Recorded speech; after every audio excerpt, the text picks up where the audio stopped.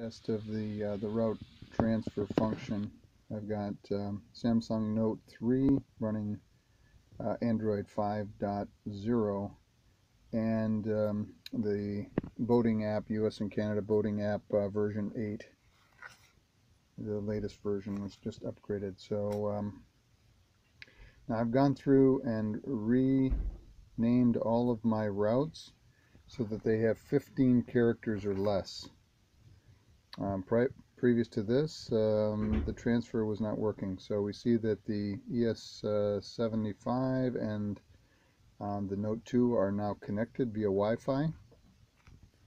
And I'll go ahead and start the transfer and you'll see see what happened. Now the transfer bar at the bottom is it's going halfway through and uh, previously it stopped somewhere in the middle.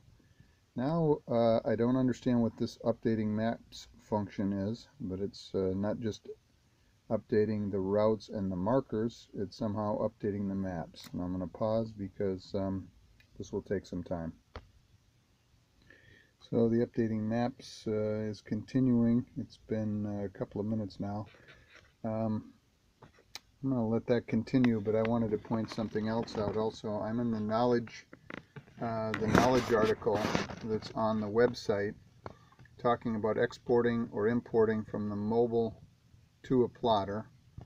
And we see here it says for additional information regarding plotter sync you can go to this. I am logged into the my Navionics account and I get you are not authorized to access this page. You'd want to know that was going on also.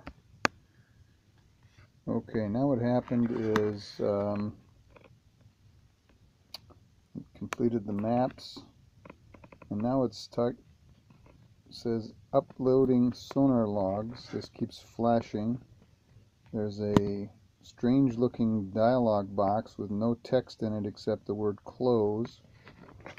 I can I can press this close but it's continuing to upload sonar logs. Where it's uploading them to I have no idea. If I'm out in the middle of uh, the ocean. I have no internet connection. Uh, I'm connected to the chart plotter, but the mobile device is not connected anywhere else. So this is kind of strange that it keeps saying uploading sonar logs. Um, now I'm going to go ahead and try to, I'll exit the application. I'll go back in, open the application again, and it says the sync was paused. So I don't know what was paused. I can't tell that. But now it's transferring again. Seems to just repeat the process. It's going back through and going updating maps again. And uh, this is going to take another five or ten minutes and this uh, and then it's going to go back through and do that updating sonar logs again.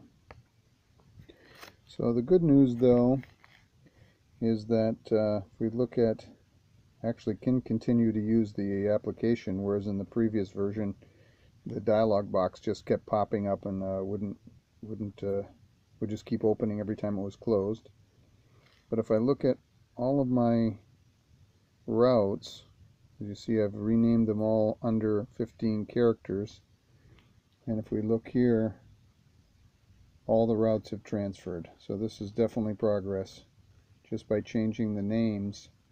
Instead of getting only a few to transfer now they all transfer over. Got them all transferred over. They're in a different order but um, they're all there. So some progress but still we're seeing if I go back you see this updating maps is continuing. When it completes, the, the updating sonar logs will just keep flashing over and over and over.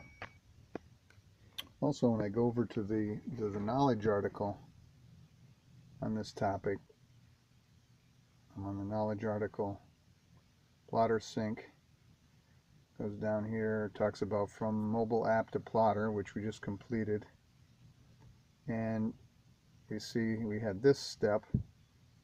This step was not seen. And there's nothing here about maps updating or sonar logs updating. So the uh, the knowledge article is um, doesn't really tell you what's happening.